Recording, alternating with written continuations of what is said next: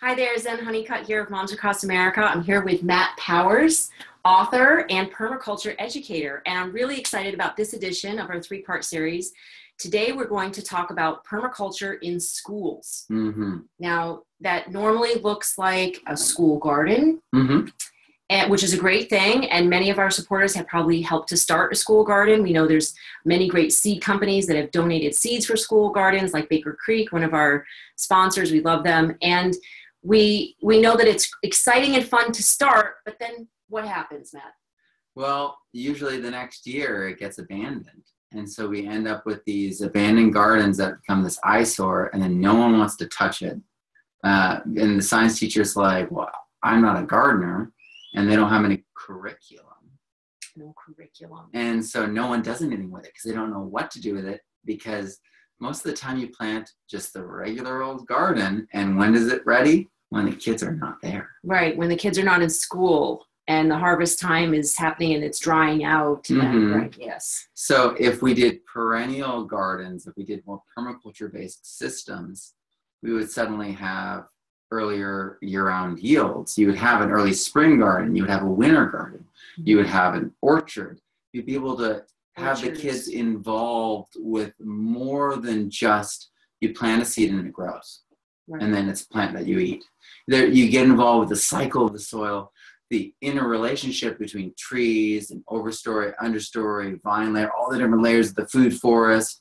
You know, it becomes this this this lesson in of itself. You go out there and you just explore and you're learning.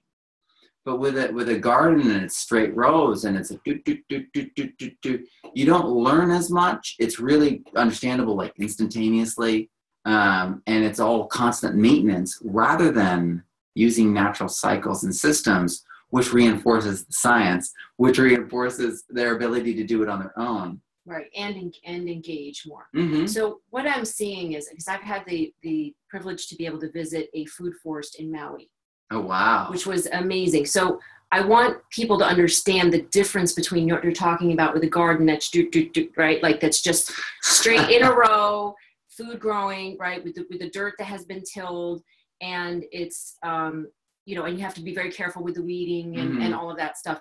What what you're talking about with permaculture, my understanding is, is that it can be more like a food forest. Like you've got trees, and right below that you may have certain um, certain flowers growing, or which help the soil, like like uh, chrysanthemum, which helps keeps bugs away, things like that. And then then you may have some tomatoes over there, or some corn with some squash growing below it, and some beans, right, like the Native Americans did, the Three Sisters. mm-hmm. So you have a whole uh, very diverse environment where it's not just a very structured garden. Is that it, correct? it's ecosystemic okay, is so essentially bushes it with is. berries Right. and all kinds when of you looked at my garden in the central valley i mean the soil's 120 degrees even where it's irrigated it's 140 degrees where it's not and it looks like a jungle and people look at it and they can't even see food because it's just this riot of color and you have to like walk in and engage with it and be like oh well you're a tomato and and yeah, so it's a jungle. It's a jungle it's a food. Yeah, it's Yeah. a food forest. It's a food jungle,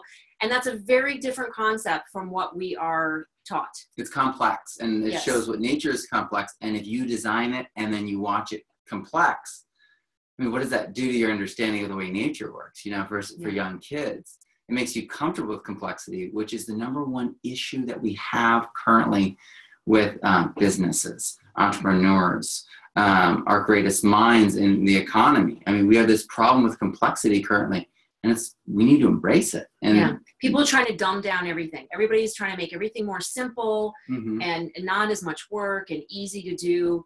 And so we get uncomfortable when something looks like a big mess. But that mess is beautiful, diverse, it's rich, and it can uh, it can, can contain much more food because Oh, yeah. all of the different microbes are feeding off each other. and you it's know, stacking The physically. waste from a tree, right? You know, the fruit or the fruit of the can fall down and you know um, rot in the Yeah. soil, and then that will feed the plants that grow underneath it, and and grow new plants and new plants and all of that. So it's it's just a whole different concept, and it's very exciting. And so I'd like to just point out some of the books that you have. Sure. Okay, you say a little bit about these. So this one is Magic Beans. Can you tell us a little bit about this one? So this is actually painted in only vegetable and fruit juices. So It's- exciting. Yeah, it's really kind of wild. Um, this book was written so that we could give this to elementary schools because elementary school age kids and, and, and younger, they, they learn in a story format or they learn through experience. So we, we either tell them about something or we include them in it. And that's why I've got two books. I've got the story based one, and this is just one of uh, a, a bunch of different ones we're going to be writing. Yeah. Um, and it's, it's Beautiful. it, and it really is designed to empower them. I mean, it's it's painted in a simple fashion so that they feel like they can self-identify with it. Yes, that they could maybe paint like this too, right? with of- vegetable with juices. vegetables. Yeah. How cool. Oh, a whole new form of playing with your food, right? That's so great. Okay, and then tell us about this one. So this is kind of like the classic Richard Scarry where you have identification. So you have the big picture and then you zoom in on each section. So I, I, we open it up, we define um, what permaculture is. And for kids, you know, permaculture, all it is, is, you know, seeing the world through nature's eyes and working with the world with nature's patterns. And so this defines what ethics are. And then, like I said, Okay, so here's the big yeah, so here's the big picture of a permaculture type garden. And then you zoom in here, right? On the annuals. and then there's Right. annuals and perennials. and perennials. Okay, and you explain the difference between all of those. And this is good for about what grade? This is like uh, third to fifth grade. This is really identification and comprehension level of the, the Bloom's taxonomy of cognition. And so basically at this age, we're showing, we're identifying, and then they can read about it and then go into the garden and actually either build it, set it up, or or witness it working and eat from it, you know? This is perfect because in fifth grade at Waldorf schools, my kids go to a thank goodness free charter public Waldorf school, and they have a school garden in fifth grade, and that's when they really start like tilling the compost and take they. Um, you know, take they prune the trees. Mm. You know, it's it's actually pretty amazing. They get kids with pruning shears out in the garden cutting trees. I mean, they trust them to do that, and the kids do a great job. You know, they teach them all about how to do it. So yeah, here's compost. So this is this is the perfect age to have kids getting out in a school garden um, and taking care of not only uh, plants, but they could take care of animals as well. They could have chickens. I don't I don't know what the rules are for that. Which Well, the rules will adapt. yeah, they I- should change if they can't if you can't have chickens on a school. And those fifth Yeah. graders, those fifth graders are going to be the leaders, demonstrating to all those younger kids that, you know, being, you know, the exemplars, you know, of how to do it. Mhm. It's going to be really exciting because they're going to feel so much accomplishment because they're the ones that are actually going to do this. Yeah, and they're going to take this out into the world. They're going to tell their parents, "This is what I want to do." Yeah. So this is the permaculture student, the workbook and the book. To tell us about these, what grades are these? Okay, this is middle school. And this is, have you guys heard of a PDC, a permaculture design course? Maybe No. Geoff Lawton permaculture design course? Okay. Well, this is based off of Geoff Lawton's permaculture design course. And it has Bill Mollison's work in it. It's got some of Masanobu Fukuoka's, Sepp Holzer, uh, folks like that. But primarily, it's Geoff Lawton's form of the PDC. So it covers everything that you would learn in a PDC in a condensed format that's clear and it's an eighth grade, uh, seventh grade reading level. So Look this, at these illustrations. Look, just look how beautiful they are. So many, so many of the graphics that I see in modern day textbooks now are just solid color, like as simple as they, like just terrible. You know, they're just saving not. money. They're not. Yeah, they're saving. They're not interesting at all. But you have these have actual illustrations from artists in here. This is this is really great. Felt really good actually to be able to pay artists. You know, yeah, that's that's you did. yeah. You paid artists for this. Fabulous. Supporting art as well. Supporting artists. That's fantastic. So, So- explains the water systems and everything. right? Yeah, Yeah. absolutely. So this explains the patterns of nature, the behaviors of nature, and then explains how we can start participating in it, and then it gives examples of house uh, systems, of greenhouse systems, of water um, uh, infiltration systems, microclimates, um, all these different things. And this book actually is being translated right now into Russian and Swahili, Turkish. So exciting. Yeah, it's actually. oh, that's so great. it's in Arabic in the most. It's there's three thousand copies of it in Arabic, so that makes it the most copies in Arabic. Um, there's Polish, there's Spanish already out, and French and Italian are almost done. So this book is on every continent but Antarctica. It's being used in orphanages, in schools. The International School of Los Angeles is currently using it. Yay! And- That is awesome. California's El Diablo School District is using it. These books are are being used because people want to get this, you know, eco certification. They want to make their gardens um, grow and be a thriving place of actual learning. This is so great. Here's your compost schedule, your schedule so that you don't start a fire in your school garden. So Absolutely. great. Yeah, excellent. So this can be this is again, you said middle school, right? Yeah, Okay. So middle school, if you're people are using it in high school. People are using. it. Okay, middle school or high school. If your children are in middle school or high school, you need to get a hold of this set of books and donate it to your uh, school director or Mhm. not just the school library because you want the school to consider to have it within their curriculum to start using it and teaching it in all of their classes. Um, because again, this is not just about gardening, it's about an entire lifestyle. It's about Mhm. relating with the planet, with earth, with nature, with water, um, not polluting and not destroying and uh, not using up our resources, actually working with it. So this is an and this is a workbook that accompanies it. Is that it? Yes, this walks you through your site and actually like takes you through all the different. You know, it organizes you, so you write down your plants. Love And you go it. through- Love to be organized. Yeah, yeah, we need this. Um, so this is the guide that takes you step by step, and this is a perfect summer uh, or spring unit. So they get out in the garden, they start planting their home gardens with this. Wow. They're learning with the school site. Maybe they have seeds or cuttings from the school site that they're rooting, and then they get to take home or something and then put in their garden. Right. So they're, you're, you're, they're learning chemistry here as well, right? They're learning chemistry. They're learning planning and timing. They're doing art. They're cre- They're drawing. So, and I saw another um, page back there before that had math in it, you Mhm. know, and physics. They you were you were um, There's a tan measuring in the slope, measuring Yeah. the slope. So you've got physics. You you can learn pretty much everything you need to know through gardening. You know, math, English, right, science, history. Right? I've All gotten feedback that for a lot of people, permaculture is the way that their kids fall in love with science again. They're the, it's the way that science becomes real because they actually can go, wait, it's not just this thing on a piece of paper that I've got to just find the answer for, and it's really in the back of the book, and I'm not supposed to look at the book. It's something that's real to me that, you know, when I started learning permaculture, I was convinced that I was good at science. And when I started learning permaculture, I started being like, wait, okay, so now I understand things on on like this, like connecting to a chemical level and then to a molecular level. And connecting all those things from a visual to a molecular level and to the elements that it actually is made up of was really revolutionary for me. It made me realize that I was convinced at a very young age that I wouldn't be good at science. And so I gave up and I let them people- have the prize. I let Yeah. them have that. Well, I, I gave up in science because I thought I wasn't good at math. Hmm. The math teacher I had wasn't particularly friendly and happy. So um, I, when I struggled with it, I didn't get that much support. And I really wanted to be a scientist. I loved science. I was fascinated with now. nature. Now I feel like I'm using, you know, math. And uh, my dad wanted me to be a lawyer. My mom thought I should be a writer. So now I think I'm doing science, law, and writing all in one.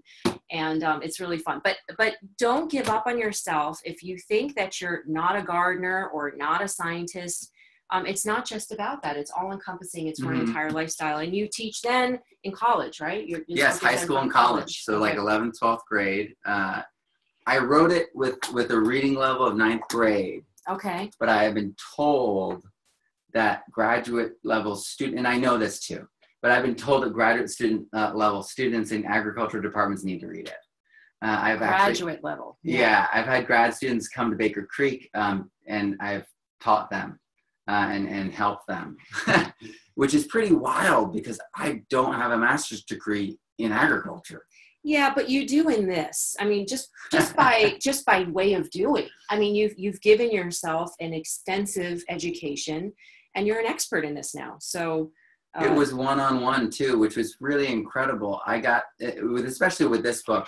This book right here was about um, there's about ten experts. This one had over twenty different experts this one. that were working Twenty different experts. Okay. one on one with me for over a year. So we had the USDA soil primer author, Dr. Elaine Ingham, working with me extensively for over a year. Yeah, stuff very like that. extensive these cycles right and the and what's going on in the soil there's pictures of the soil microbes here there's the whole um, soil food web i mean this gets down into the nitty gritty and the kids are really going to be fascinated with this and it's a co- it's a career pathway. So I was brokenhearted in a lot of ways by what happened to all my high school kids year after year. Mm-hmm. I watched them leave me, and I was a sophomore, so like that culmination, we like charge them up so they get through high school, right?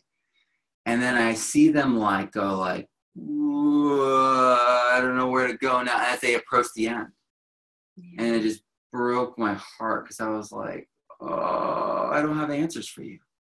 yeah And you know what?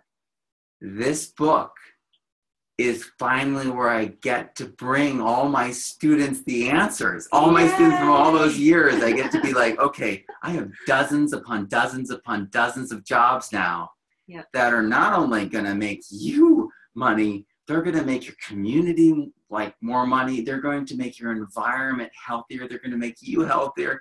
We're in a county where, well, I was teaching in a county where, you know, the fires were perennial. We would have the fires return every year. At least one kid a year would lose their home. Hmm. One of the most violent counties in America. People are dying monthly on the road that all the kids take to get to school. Highway 41. If you've never heard of it, it's um, it's crazy. People die on it every month that I know. that's terrible Um, so it's like it's this this awful situation where it feels like they don't have any choices. They go to the military or they go to debt and they get out and they never come back. Mm. And I feel like there's so many towns in America like this.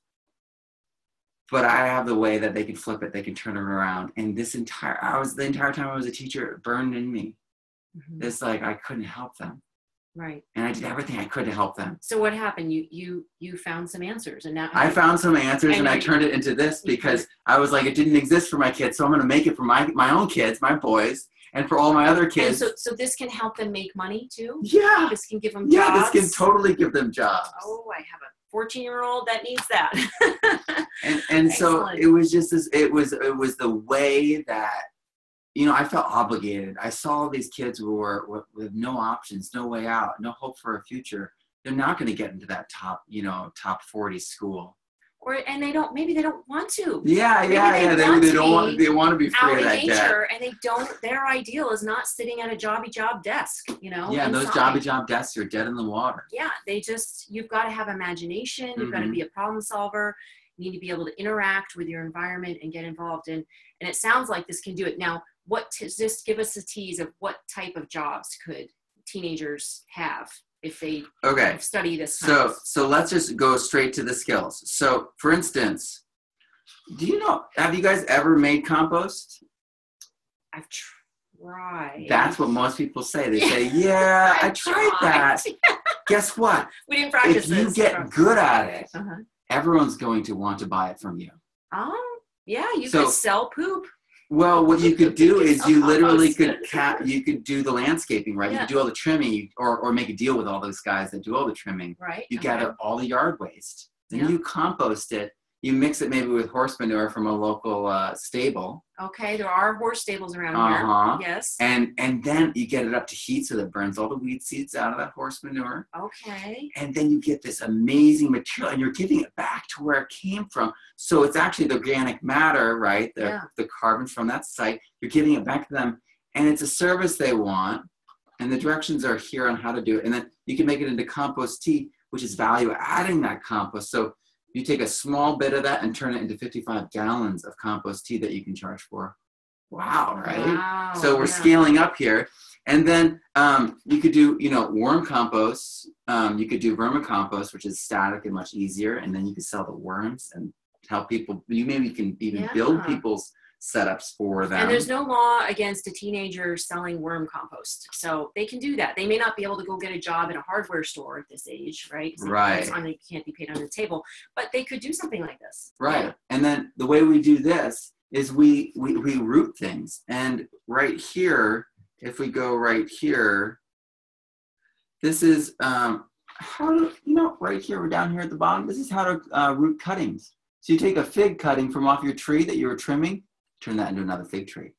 It's so easy. Mm. So you could have your teenage son go outside, trim that fig tree, and then turn it into 200 trees, and then sell them for five dollars each, Wow. and I make a thousand dollars. I love it.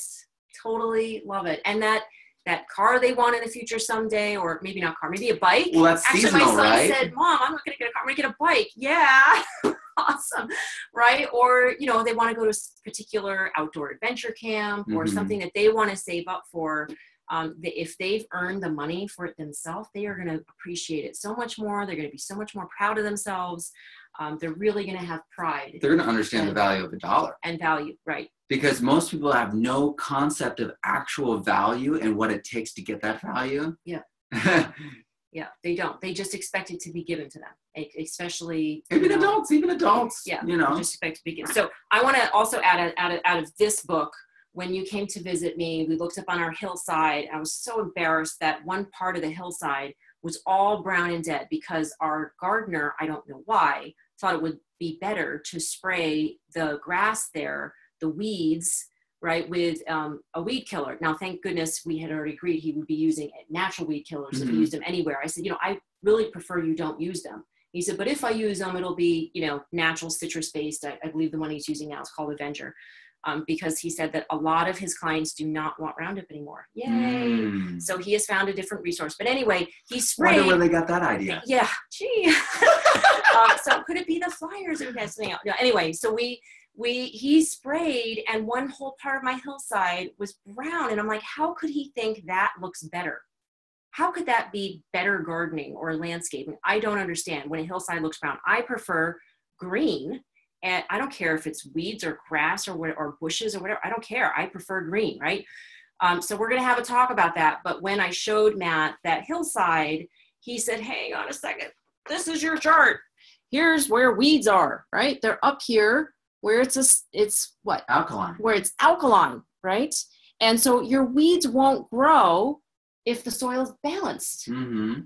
Holy mackerel! So all we need to do is balance the soil, folks. We need our And put something else in landscapers- there. Yeah. we need yeah. our landscapers to learn about that if we don't want weeds. Now, I personally don't care if we have weeds or not. I mean, I, Yeah. I just think it's all beautiful. But um, this is this is what the most landscapers are not doing. And um, if the teenagers and the college students start learning these kinds of things, they will look at soil management and landscaping and gardening and living in a whole different way because life is about balancing things out, right? Yeah. There's Yeah.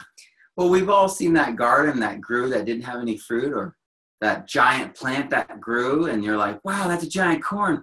Well, it formed no ears this year. I don't know what's going on. You know what I mean? Mhm. It's because it's all nitrate. It's all alkaline. And then they're always weeding the whole summer. They're like, I pulled Well, weeds out the whole summer. and where they go is to is i can't garden i can't grow food and people give up don't give up Meanwhile, it's just in the soil. You just got to fix yeah the soil. just take now so how do you do do you test the soil do you take some of it well, to the crazy a thing, nursery and have them tested you can, yeah you can. okay Uh, the crazy thing about compost is it's a buffer.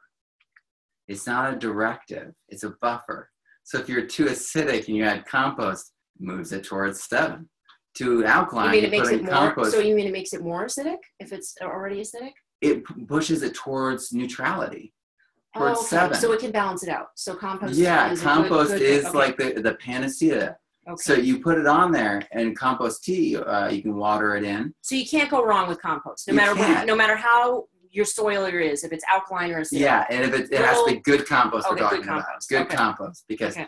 um, some city composts, you know, it's so good. Okay.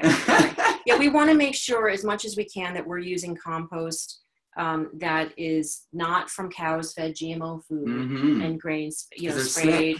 They're sick, and the grains that they're eating are sprayed with glyphosate, very high levels, like 400 parts per million are allowed on grains and alfalfa and all that animal feed.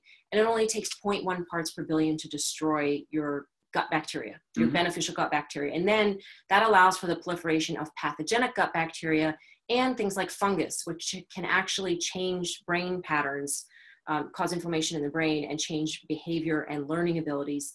So if you have a child with learning abilities that's erratic, um, you know, suddenly hitting or not paying attention, please take them to the doctor and get their urine test for fungus and bad bacteria. If you can find out what's going on in their gut, you can change everything. Just like with the soil, like he was just talking about. If the soil is, um, you know, too acidic or too alkaline or whichever, you can balance that out, and you need to with the microbes in the soil. And we do it with our kids, don't we? We inoculate yeah. our kids with good uh, microbes, right? Sauerkraut. Right, exactly. Just give them a couple, and, and you might have to use gold stars for a little while. I had to do that for about two or three weeks, especially with my seven-year-old at the time. We had to use gold stars, but after a couple weeks, I mean, they've they know now they're getting a trillion good bacteria in that sauerkraut. I say, open up, ah, give them a whole um, forkful of sauerkraut that balances out their gut bacteria and we have far less uh, rashes, mm. uh, far fewer erratic behavior episodes. They're just getting what they need in their gut, just like the soil with the compost. Right, that's exactly right, so, and both are life rich. Very rich and and and great, and and the the microbes in sorry the bacteria in the um, the sauerkraut can actually break down pesticides so if you can't get organic sauerkraut and you can only find regular sauerkraut, yeah, there's certain bacteria that actually eat the pesticides. So it's fabulous. So just get some sauerkraut and not, but not, don't do the vinegar kind, do the actual fermented, you know, sauerkraut. Old so fashioned kind. Yeah. So the jar, in the glass jar sauerkraut, usually it's in the refrigerator section, but there are some that are in the regular on the shelf. Um, I think the one in the refrigerator section is going to be more rich with bacteria. So um, yeah, yeah, but don't get the like pickles in vinegar. That's not fermented. Yeah. So, um, or it's not doesn't have the good stuff like it needs to. But anyway, this book is um, really amazing, and I would like to encourage everybody. we we, when we post this video, underneath the comments, we'll have links to your website and where they can buy them. He's got a limited edition right now, right? It's yes, and so, there won't be any, there won't be any real gaps. I can set it up so it's print on demand, but we have a limited run of uh, of the first 500 that we've printed. They're all signed. Uh, I use a special purple pen to match the cover. Um, we had so much fun making this. I can tell. Look at this. It's amazing. So he's again 20 different experts. Your school can feel extremely confident that they're getting a, a curriculum that has it will revolutionize the their science department. I showed this to um, my boarding school, which is a top 40 boarding school, Holderness School, mm-hmm. and their reaction was, "We need to show this to everyone in the science department." So Woo, that's awesome. Oh same my, thing with international schools. The gears should be turning, folks. You should be thinking of all the schools that you've ever gone to, anybody you ever know that's a teacher, any principals, um, just everybody that you know that's involved in education, because this is the answer. So the other thing we have to touch on is that the GMO companies have infiltrated our schools and they are teaching our children that GMOs are great. I'm not kidding. It's and they work it into like english where you have to have a new vocabulary word right? It's not even in the science section. It's in the english section. It's in um, math equations. They're in they're all over the place. So you have to look at what are your kids learning in school in the science department especially in middle school and high school. What are they indoctrinating them with? These the chemical companies have basically bought their way into these universities. They buy chairs at uh, colleges as well. They make uh, college professors tenured, and then those college professors will actually, um, you know, convince their students that GMOs are a great thing. Here he addresses it. You want to say a little bit about this page? Yeah. So GMOs. what we have here is GMOs and epigenetics. So epigenetics is how we actually um, encode our DNA. It's epigenetics is our reaction to our environment, really. So, for instance, if I start smoking cigarettes, I'm going to flip the epigenetic switches on the sides of my genes. It doesn't affect the actual coding of my genes. It switches a side switch on my genes and it affects the phenotypic expression of my genes. And on that switch could be cancer, mm-hmm. could be emphysema, could be all these different things caused by my smoking like repeatedly or whatever.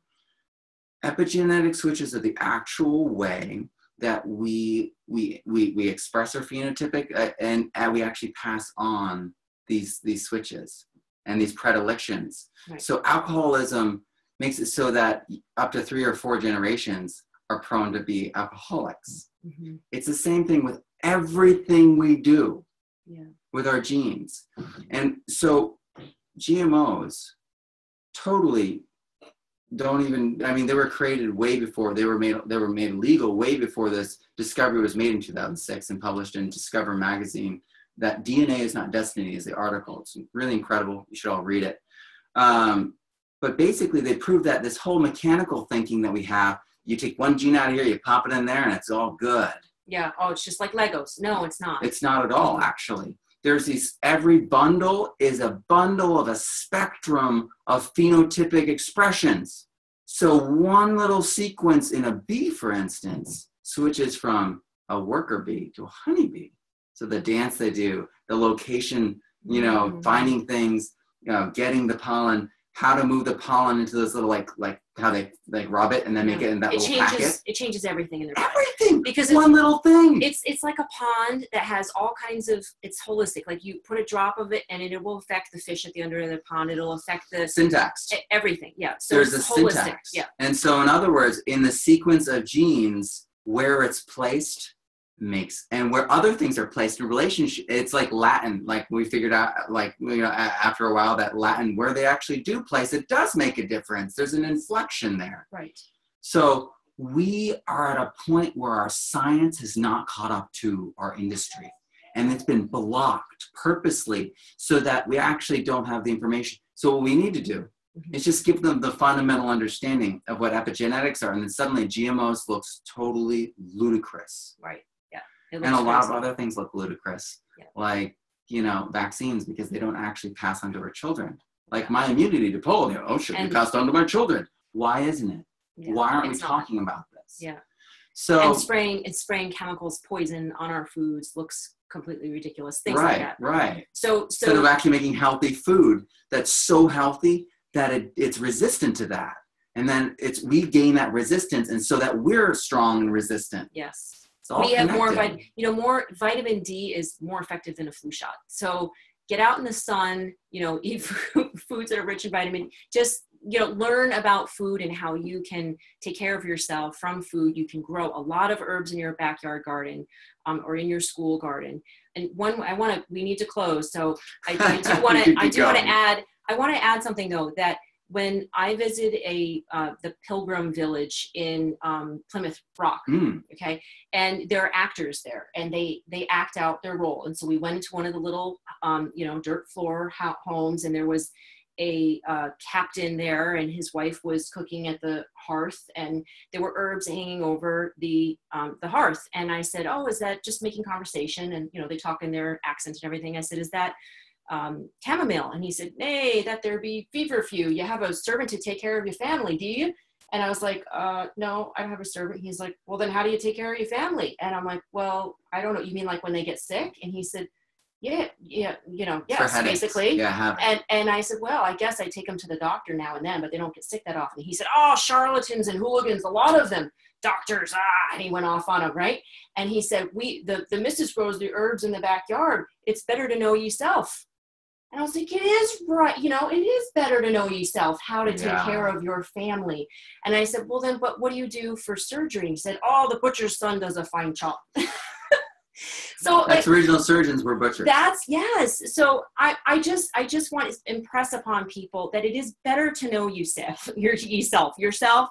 It's better to know yourself to learn how to grow herbs and and um, food and to know what's going on in the soil. And we need to. I don't even want to say get back to that. We need to go forward. yeah, that's the key. We Use need to the go science to forward go. with this. We need to go forward with this. We have a world of rich and diverse knowledge um, from experts. We need you to bring this to your schools, bring this to your school principal, to your science teachers, whichever. Please get this out. And if, if you know somebody who's wealthy, who likes science, ask them to donate $5,000 to buy a bunch of these, right? Why not? Just ask them. If you don't ask it's not going to happen. So go ask a wealthy person that you know to get these this curriculum into some local schools okay? Please go to momsacrossamerica.org we will post links to matt's site. Um, he answers questions. He does q&a on facebook. Please Mhm. follow what's Yep. your facebook page Uh, the permaculture student. the permaculture student he's doing stuff on facebook all the time so if you have questions you can ask him directly about your garden and, and school and all that kind of stuff right? You got it. so fabulous. Thank you everybody for watching. Momsacrossamerica.org. Thank you, Matt. Oh, thank you. Okay.